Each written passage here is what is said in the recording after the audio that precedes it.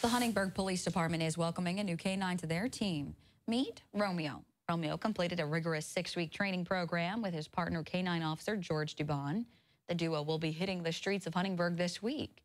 Police say Romeo is a dual-purpose patrol dog certified in narcotics, tracking, and apprehension.